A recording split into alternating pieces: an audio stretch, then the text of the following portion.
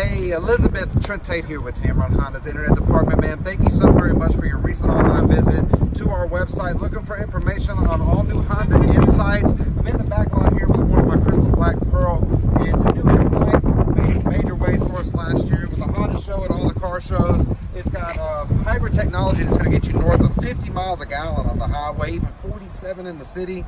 It's an amazing, amazing, amazing product. Uh, this specific model is a Touring. I have LX models available, EX and Tourings as well. And uh, for the sake of the video, I want to show you the style of the new car. You're going to get sensing standard on the vehicle to go along with on the inside.